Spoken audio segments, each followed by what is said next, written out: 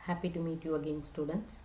நம்ம இந்த வீடியோவில் fourth unit of research methodology பார்க்க போகிறோம் ஸோ இந்த fourth unit what are the points covered or what are the topics covered அப்படின்னு பார்த்தீங்க அப்படின்னா we have measurements of scales sources of data collection method of collecting primary data and secondary data characteristics of secondary data selection of appropriate methods for data collection and difference between questionnaires and schedule அப்புறம் நம்ம பார்க்க போகிறது what is hypothesis characteristics of uh, hypothesis and meaning of chi-square and ANOVA we'll move on to the video. So first நம்ம பார்க்க போகிறது measurements of scale இப்போ நம்ம research பண்ணும் பொழுது நம்ம கிடைக்கிற டேட்டாவை மெஷர் பண்ணணும் இல்லையா? அதுக்கான ஃபஸ்ட்டு ஸ்டெப் தான் இந்த measurement of ஸ்கேல்ஸுங்கிறது so scales of measurement refers to ways in which variables are numbers are defined and categorised calculation ஆரம்பிக்கிறதுக்கு முன்னாடியே நம்மளுக்கு கொடுத்துருக்கிற வேரியபிள்ஸையும் நம்பர்ஸையும் எப்படி கேட்டகரைஸ் பண்ண போகிறீங்க அப்படிங்கிறது தான் ஸ்கேல்ஸ் ஆஃப் மெஷர்மெண்ட் ஒவ்வொரு ஸ்கேலுக்கும் ஒவ்வொரு ஒவ்வொரு கேரக்டரிஸ்டிக்ஸ் அல்லது ப்ராப்பர்ட்டிஸ் இருக்குது அப்படி பார்க்கும்பொழுது there are four scales of measurement nominal ordinal interval and ratio இப்போ ஒவ்வொன்றா நம்ம பார்க்கலாம். த ஃபர்ஸ்ட் ஒன் வந்து நாமினல் ஸ்கேல் நாமினல் ஸ்கேல்னா என்னன்னு கேட்டிங்கன்னா அது சிம்பிளி ஒரு ஐடென்டிஃபிகேஷன் தான். ஒரு நேம் ஒரு நேம் ஒருத்தரோட நேம் வந்து நாமினல் ஸ்கேல் இப்போ நாமினல் வேரியபிள்ஸை நம்ம என்னன்னு சொல்கிறோம்னா கேட்டகரியல் வேரியபிள்ஸ் அப்படின்னு சொல்கிறோம் அது தே அவங்களுக்கு they don't have any numeric value அந்த நாமினல் ஸ்கேலுக்கு எந்த ஒரு நியூமரிக்கல் வேல்யூவும் கிடையாது. ஸோ அதை வந்து நீங்கள் ஆட் பண்ண முடியாது சப்ராக்ட் பண்ண முடியாது டிவைட் மல்டிப்ளிகேஷன்லாம் கேல்குலேஷன்ஸ்லாம் எதுவுமே பண்ண முடியாது. அதுக்கு எந்த ஒரு ஆர்டர்ஸும் கிடையாது ரேங்க்கும் பண்ண முடியாது. இப்போ for example if you conduct a study and we are including gender as a variable ஏதோ ரிசர்ச் பண்ணுறோம் அதில் ஒரு ஜெண்டர் அப்படிங்கிறது ஒரு வேரியபிளாக இன்ட்ரடியூஸ் பண்ணுறோம் ஜெண்டர் என்னவாக இருக்கலாம்? ஃபீமேலாக இருக்கலாம் அல்லது மேலாக இருக்கலாம். அப்போ நம்ம எப்படி கால்குலேஷனில் கொடுப்போம்னா ஃபீமேல்னு போட்டிருந்தாங்கன்னா ஒன்னுன்னு கொடுங்க மேலுன்னு போட்டாங்கன்னா டூன்னு கொடுங்க இல்லை வைஸ் வருஷா எப்படி வேணாலும் கொடுப்போம். நம்ம டேட்டாவை கம்ப்யூட்டரில் என்டர் பண்ணும்பொழுது இந்த ஃபீமேல் மேலுன்னா கம்ப்யூட்டருக்கு புரியாது இல்லையா? பைனரி கோட் தானே. அப்போ நம்ம ஒன் ஆர் டூ அப்படி தான் கொடுப்போம்.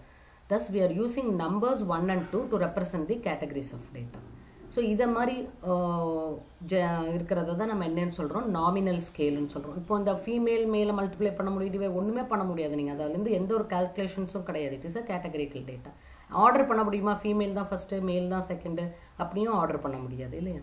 So this type of data which we take for study is called as categorical data அதுக்கு நம்ம யூஸ் பண்ணுற ஸ்கேல் வந்து நாமினல் ஸ்கேல் எக்ஸாம்பிள்ஸ் வந்து நான் ஜெண்டர் சொல்லிட்டேன். Female male or third gender colour வச்சுக்கலாம். ப்ரௌன் ஐஸ் பிளாக் ஐஸ் அல்லது brown hair black hair blonde hair அது எந்த மாதிரி ஹவுஸில் வாழ்கிறாங்க அப்பார்ட்மெண்ட்டில் வாழ்கிறாங்களா என்னங்கிறது ரிலீஜியஸ் ப்ரெஃபரன்ஸ் கேட்குறோன்னு வைங்க.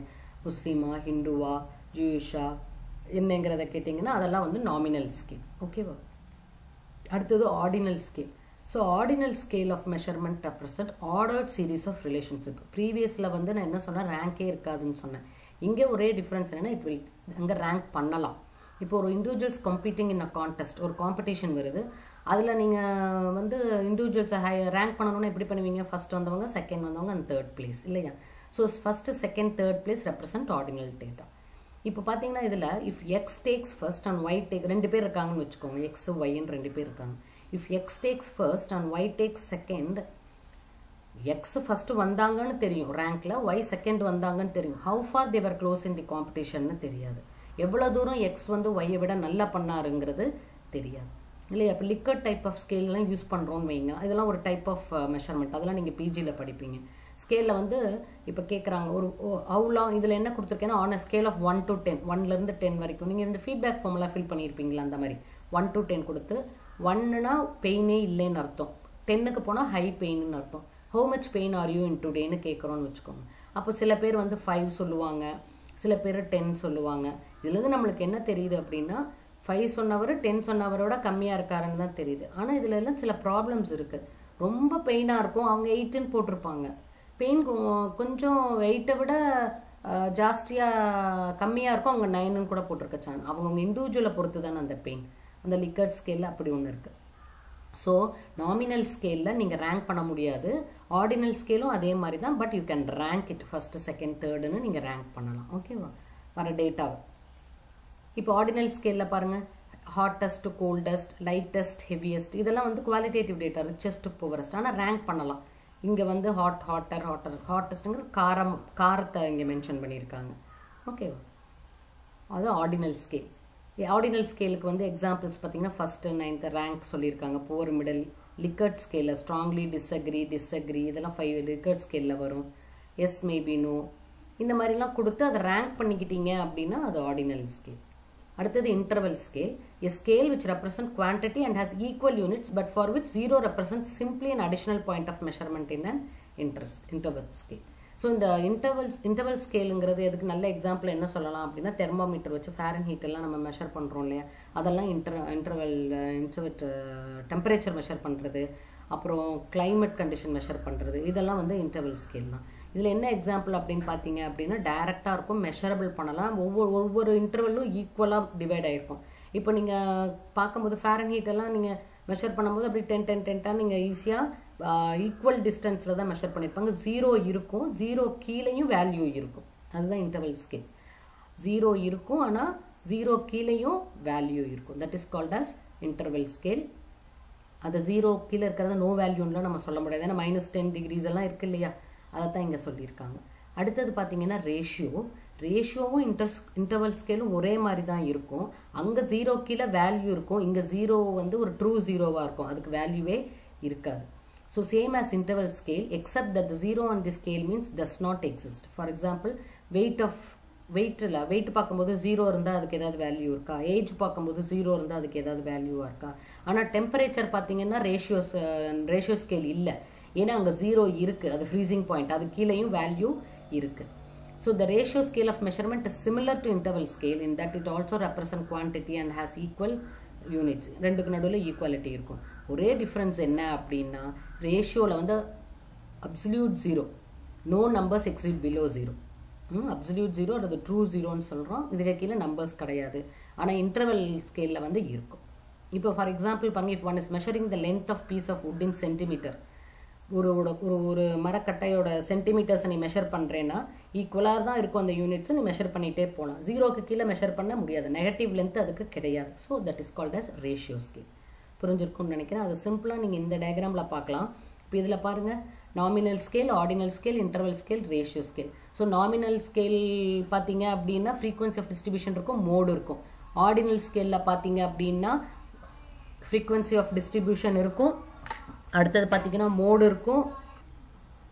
ஸோ இந்த ஆர்டினல் ஸ்கேலில் பார்த்தீங்க அப்படின்னா ஆர்டர் ஆஃப் தி வேல்யூஸ் தெரியும் ஃப்ரீக்வன்சி ஆஃப் டிஸ்ட்ரிபியூஷன் இருக்கும் மோடு இருக்கும் மீடியனும் இருக்கும். ஆர்டர் அந்த ரேங்க் சொன்னேன் இல்லையா? ஃபர்ஸ்ட் வந்திருக்காங்களா? செகண்ட் வந்திருக்காங்களா? அப்படிங்கிறது.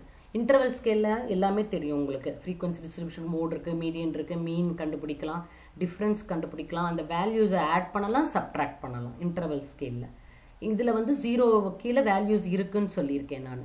ரேஷியோ ஸ்கேல் தான் எல்லாமே இருக்குன்னு சொல்லியிருக்கேன். ஓட் மீன் மீடியன் டிஃப்ரென்ஸ் பார்க்கலாம் ஆட் பண்ணலாம் சப்ராக்ட் பண்ணலாம் மல்டிப்ளை பண்ணலாம் டிவைட் பண்ணலாம். ஆஸ் அ ட்ரூ ஜீரோ ஏன்னா அந்த ஜீரோக்கு ட்ரூ ஜீரோனா ஜீரோ தான். அதுக்கு கீழே வேல்யூ கிடையாது. ஸோ இது இதுதான் ஃபோர் டைப்ஸ் ஆஃப் ஸ்கேல்ஸ் நீங்கள் ரிசர்ச் பண்ணும்போது உங்களுக்கு கிடைக்கிற டேட்டாவை கம்ப்யூட்டரில் ஃபீட் பண்ணி அனாலிசைஸ் பண்ணணும் இல்லையா?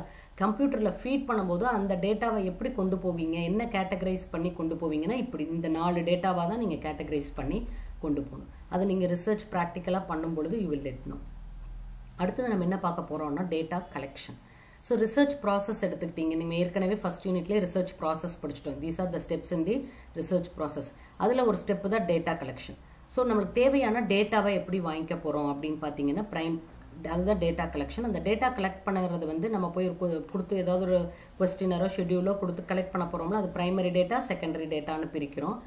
ஸோ அந்த டேட்டா வந்து எது வேணாலும் இருக்கலாம். ஃபேக்டாக இருக்கலாம் ஃபிகர்ஸாக இருக்கலாம் எப்படி வேணாலும் நீங்கள் கலெக்ட் பண்ணிக்கலாம். அதை வச்சு தான் ஆர்கனைசேஷன் வந்து நல்ல முடிவுகள் எடுக்க முடியும். இப்போ ஃபார் எக்ஸாம்பிள் கம்பெனிஸ் இருக்குன்னு வச்சுக்கோங்களேன் there have to launch a new ப்ராடக்ட்னு வச்சுக்கோங்க. அப்போ they need to collect data product டிமாண்டை பற்றியோ கஸ்டமர் ப்ரெஃபரன்ஸ் என்ன நினைக்கிறாங்க காம்படிட்டரோட ப்ராடக்ட் என்ன டேட்டாலாம் ரொம்ப கலெக்ட் பண்ண வேண்டியது இருக்கும். ஸோ அந்த டேட்டாவை வந்து எப்படி கலெக்ட் பண்ணலாம்னா ரெண்டு விதமாக கலெக்ட் பண்ணலாம். ப்ரைமரி டேட்டா ஆஃப் இன்னொன்று secondary data for example primary data collection மெத்தட்ஸில் பார்த்தீங்கன்னா அதுனா என்ன ப்ரைமரினாலே மெயின்னு அர்த்தம் இல்லையா? ஸோ ஃபஸ்ட் ஹேண்ட் எக்ஸ்பீரியன்ஸ்னு அர்த்தம். It's not use in the first நீ எடுக்கிற டேட்டா நீ தான் ஃபஸ்ட் ஃபஸ்ட் அந்த டேட்டா எடுக்கிற. No one has taken the data அல்லது யார்கிட்டையும் அந்த டேட்டா இல்லை. அப்படின்னா that is called as primary data highly authentic and accurate so அதில் குவான்டிடேட்டிவ் டேட்டாவாகவும் இருக்கலாம் குவாலிட்டேட்டிவ் டேட்டாவாகவும் இருக்கலாம். குவான்டிடேட்டிவ்னா it includes number குவாலிட்டேட்டிவ்னா it doesn't includes number so quantitative datas demand ஃபோர்காஸ்டிங்கெல்லாம் use பண்ணுவோம். இந்த வருஷம் எவ்வளோ சேல்ஸ் ஆச்சு அடுத்த வருஷம் அந்த மாதிரி டேட்டா எல்லாம் பண்ணும்போது.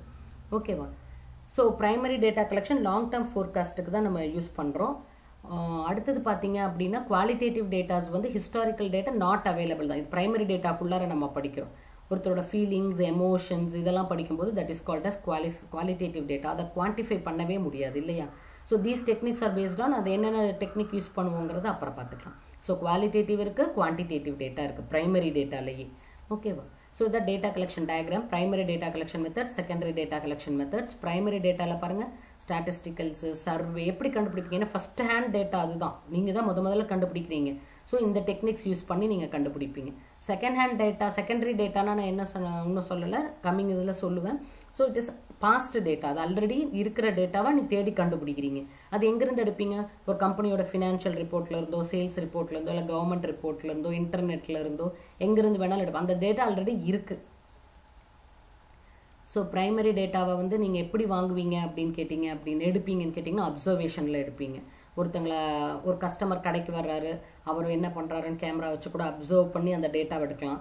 ஸ்ட்ரக்சர் ஸ்ட்ரக்சர் அப்சர்வேஷன் இருக்குது பார்ட்டிசிபேட்டிவ் அப்சர்வேஷன் இருக்குது ஸ்ட்ரக்சர் அப்சர்வேஷன் நான் சொன்ன மாதிரி கேமரா ஃபிக்ஸ் பண்ணி அவங்க என்ன பண்ணுறாங்கன்னு பார்க்குறது பார்ட்டிசிபேட்டிவ் அப்சர்வேஷன்னா அந்த ரிசர்ச்சரும் என்ன பண்ணுவார்? அவங்களோடயே கலந்துக்கிட்டு ஒருத்தரோட ஒருத்தராக இருந்து பார்ட்டிசிபேட் பண்ணிட்டு டேட்டா கலெக்ட் பண்ணுவார். அப்புறம் இன்டர்வியூ மூலமாக ப்ரைமரி டேட்டா எடுக்கலாம். எப்படி பண்ணலாம்? பர்சனல் இன்டர்வியூ பண்ணலாம் ஃபோக்கஸ்ட் இன்டர்வியூ பண்ணலாம் கிளினிக்கல் இன்டர்வியூ பண்ணலாம் நான் டைரக்ட் இன்டர்வியூ பண்ணலாம் இல்லை டெலஃபோனிக் ஏதோ ஒரு இன்டர்வியூ மெத்தட் யூஸ் பண்ணி இன்டர்வியூ பண்ணி ப்ரைமரி டேட்டா எடுக்கலாம். அடுத்தது சர்வே த்ரூ கொஸ்டினர் கொஸ்டினர் மூலமாகவும் எடுக்கலாம். பைலட் சர்வே அல்லது மெயில் சர்வே இல்லை டைரெக்டாக கூட கொடுக்கலாம். பைலட் சர்வேனா நம்ம ஃபர்ஸ்ட் கொஸ்டினர் ஒரு ஆயிரம் பேரை நம்ம மீட் பண்ண போகிறோம் ஆயிரம் பேர்த்துட்டு இருந்து டேட்டா வாங்க போகிறோம்னா ஒரு கொஸ்டினரை ஃப்ரேம் பண்ணி கொஸ்டின்ஸ் ஒரு பத்து பதினஞ்சு கொஸ்டின்ஸ் போட்டு மற்றவங்களுக்கு கொடுத்து அந்த டேட்டாவை கலெக்ட் பண்ணுவோம். இல்லையா? அப்படி பண்ணும் பொழுது எல்லாம் பண்ணது கொடுத்ததுக்கப்புறம் தப்பு இருந்துச்சு அப்படின்னா எல்லாத்துக்கும் கொடுத்ததுக்கப்புறம் ரெக்டிஃபை பண்ண முடியாது. இல்லையா? அதனால முதல்ல என்ன பண்ணுவாங்க? ஒரு பைலட் சர்வே பண்ணுவாங்க. ஒரு பத்து பேர்த்துக்கிட்ட கூப்பிட்டு கேட்பாங்க. கொடுத்துட்டு அதில் ஏதாவது டேட்டா எக்ஸ்பர்ட்ஸ்டே கூட கேட்பாங்க. அப்போ அவங்க இந்த கொஸ்டின்ஸ் எடுத்துருங்க இந்த கொஸ்டின்ஸை ஆட் பண்ணுங்கன்னுலாம் சொல்லலாம். அந்த மாதிரி பைலட் சர்வே பண்ணிட்டு கூட கொஸ்டினர் கொடுக்கலாம். அப்புறம் மெயிலில் அனுப்பலாம் கொஸ்டின் இப்போல்லாம் வந்து கூகுள் ஃபார்ம்ஸில் அனுப்புகிறாங்க கையில் நேரில் கொடுக்கலாம். எப்படி வேணாலும் கொடுக்கலாம். ஸோ இந்த அப்சர்வேஷன் மூலமாகவோ இன்டர்வியூ மூலமாகவோ சர்வே மூலமாகவோ கண்டக்ட் பண்ணால் அதுக்கு பேர் என்னது? ப்ரைமரி டேட்டா அடுத்தது நம்ம இப்போ நம்ம ப்ரீவியஸாக என்ன பார்த்தோம்னா டேட்டா கலெக்ஷனில் ப்ரைமரி டேட்டா செகண்டரி டேட்டா பார்த்தோம். ஸோ ப்ரைமரி டேட்டாவில் வந்து நான் உங்களுக்கு சொன்னேன் மூணு விதமாக நீங்கள் டேட்டா கலெக்ட் பண்ணலாம்னு. செகண்டரி டேட்டா எப்படி கலெக்ட் பண்ணலாம்னு சொன்னேன். இப்போ டூ மார்க் கொஸ்டின் வாடி மீன் பி கொஸ்டினர்னு கேட்டுட்டாங்கன்னு கொஸ்டினருங்கிறது என்னது? ப்ரைமரி டேட்டாவில் கலெக்ட் பண்ணுறது ஓகேவா ஒரு ஃபார்ம் இருக்கும் அதில் கொஸ்டின்ஸ் இருக்கும். அதுக்கு பேர் தான் questionnaire so a questionnaire is a printed set of questions either open ended or close ended open ஹெண்டடாகவும் இருக்கலாம் க்ளோ அப்படின்னா என்னென்னா எஸ் நோங்கிற பதிலும் இருக்கலாம் இல்லை அவங்க ஷார்ட் ஆன்சர் எழுதுற மாதிரியும் இருக்கலாம். எப்படி வேணாலும் இருக்கலாம். ஓகேவா அதை தான் நம்ம கொஸ்டினர்னு சொல்கிறோம் டூ மார்க்கில் கேட்டால் you have to write this answer அப்போ ப்ரைமரி டேட்டாவில் பார்த்தீங்க அப்படின்னு இதை தவிர சில டெக்னிக்ஸ் எல்லாம் இருக்கு. நான் சொன்னதை தவிர இதுவும் டூ மார்க்கில் கேட்கலாம். டெல்ஃபி டெக்னிக்னா என்ன? ஃபோக்கஸ் குரூப்னா என்ன அப்படின்னு. டெல்ஃபி டெக்னிக்னா எக்ஸ்பர்ட்ஸை வச்சு டேட்டா கலெக்ட் பண்ணால் அதுக்கு பேர் டெல்ஃபி டெக்னிக்ஸ் ஃபோக்கஸ் குரூப்னா என்ன பண்ணுவாங்க அப்படின்னா ஒரு ஸ்மால் குரூப் இருக்கும். அதில் எட்டு டு பத்து மெம்பர்ஸை சேர்த்துக்குவாங்க. ஒரு ப்ராப்ளம் ஒரு காமன் ப்ராப்ளம் எடுத்து டிஸ்கஸ் பண்ணுவாங்க. ஒவ்வொருத்தவங்களும் அவங்க அவங்களோட ஐடியாஸை சொல்லுவாங்க. மாடரேட்டர் வந்து ரிசர்ச்சராக இருப்பார். அவர் என்ன பண்ணுவார்?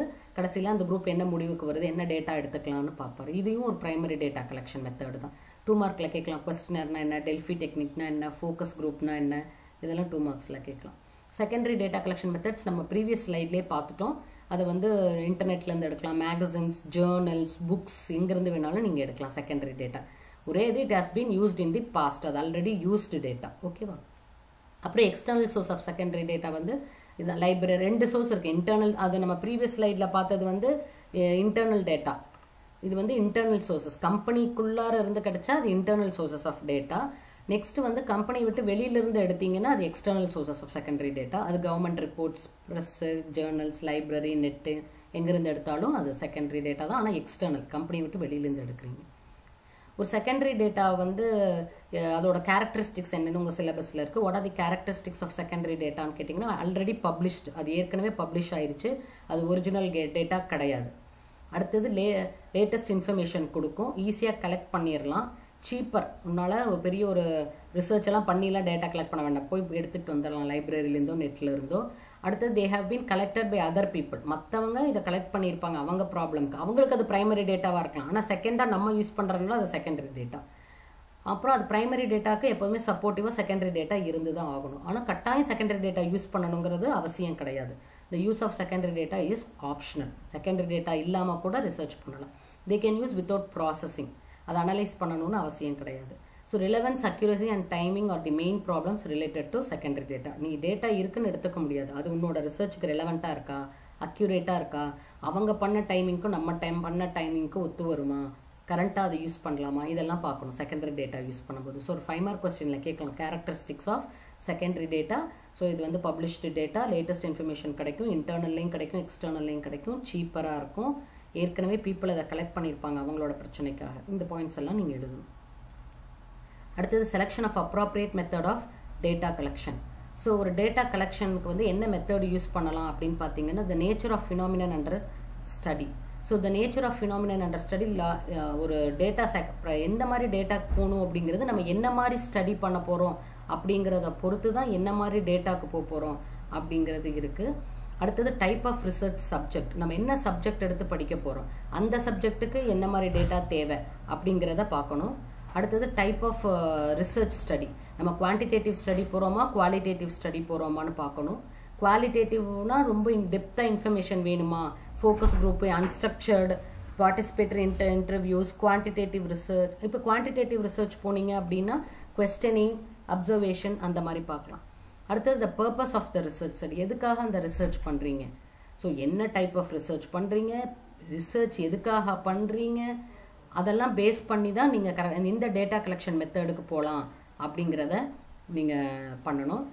அதேமாதிரி size of the study sample எவ்வளோ சாம்பிள் எடுத்து படிக்க போகிறீங்க டார்கெட் பாப்புலேஷன் எவ்வளவு? எவ் time frame of the study எவ்வளோ டைம்குள்ளார நீங்கள் ரிசர்ச் முடிக்கணும் அப்படிங்கிறத பொறுத்தும் நீங்கள் எந்த டைப் ஆஃப் டேட்டா ரொம்ப ஷார்ட் டைம் தான் இருக்குன்னா செகண்டரி டேட்டாக்கு தான் நீங்கள் போகிற மாதிரி இருக்கும். கொஞ்சம் நல்ல டைம் கிடைச்சாதான் நம்ம ப்ரைமரி டேட்டாக்கெல்லாம் போகிற மாதிரி இருக்கும். இன்டெப்த் இன்ஃபர்மேஷன் வேணுமா? இல்லை மேலோட்டமாக இன்ஃபர்மேஷன் வேணுமா அப்படின்னு.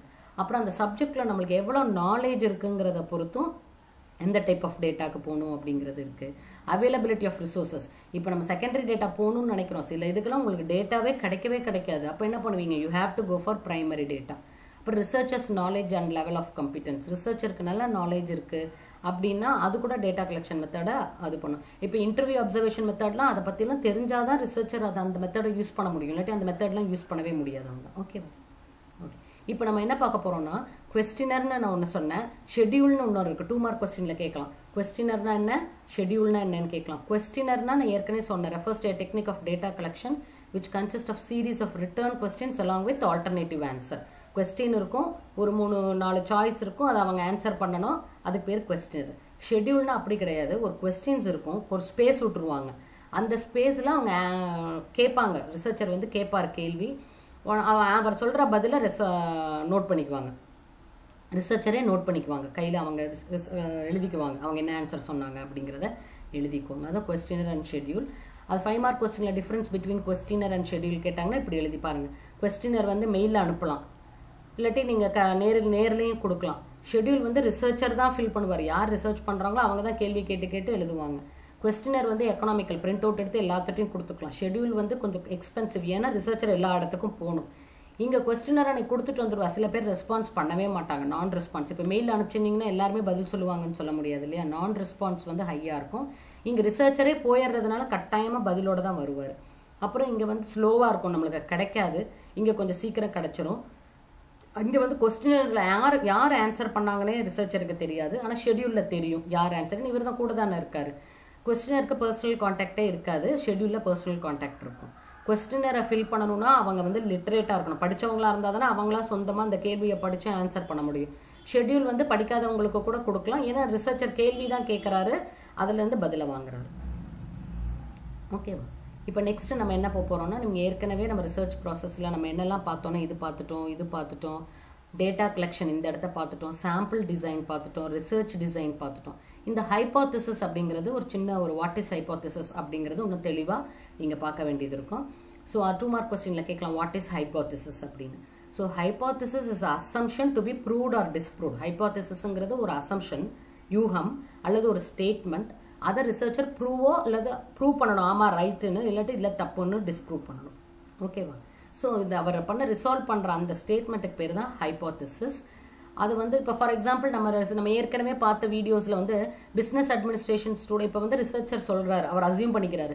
பிஸ்னஸ் யூகி யூகி யூகங்கள் அவருடைய யூகம் அவருடைய எண்ணம் என்னன்னா business administration students are likely to become entrepreneurs than science students science ஸ்டூடெண்ட்ஸை விட பிஸ்னஸ் அட்மினிஸ்ட்ரேஷன் ஸ்டூடெண்ட்ஸ் தான் தொழில் முனைவர் ஆறாங்க ஆண்டர்பனர் ஆறாங்க அப்படிங்கிறது அவங்களோட அசம்ஷன் அது உண்மையா? இதுதான் ஹைபாத்திசிஸ் ஸ்டேட்மெண்ட் ஸோ இப்போ இந்த ரிசர்ச்சர் என்ன பண்ணணும்? அதை ப்ரூவ் ஆமாம் பிஸ்னஸ் அட்மினிஸ்ட்ரேஷன் ஸ்டூடெண்ட்ஸ் தான். ப்ரூவ் பண்ண இல்லை அப்படிலாம் கிடையாது. சயின்ஸ் ஸ்டூடெண்ட்ஸும் ஆண்டர்பனர் ஆறாங்க அப்படின்னு டிஸ்ப்ரூவ் பண்ணணும்.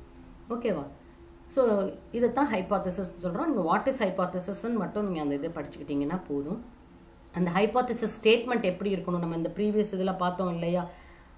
இந்த பிஸ் இந்த இதான் ஹைபாத்திசிஸ் ஸ்டேட்மெண்ட்னு நான் சொன்னேன் இல்லை இது எப்படி இருக்கணும் அப்படின்னு பார்த்தீங்க அப்படின்னா கிளியராக இருக்கணும் ப்ரிசைஸாக இருக்கணும் டெஸ்ட் பண்ணுறதுக்கு ஏத்தாப்பில் இருக்கணும் அண்டர்ஸ்டாண்ட் புரிகிற மாதிரி இருக்கணும் வேரியபிள்ஸ்குள்ளே ரிலேஷன்ஷிப் இருக்கணும் நம்மளுக்கு தெரிஞ்ச ஃபேக்ட்ஸோட லிங்க் பண்ணிக்கிற மாதிரி இருக்கணும். புது ஃபேக்டாக கொடுக்கக்கூடாது. ஏற்கனவே ஒரு ஃபேக்ட் இருக்கிற விஷயத்தோட லிங்க் பண்ணுற மாதிரி இருக்கணும்.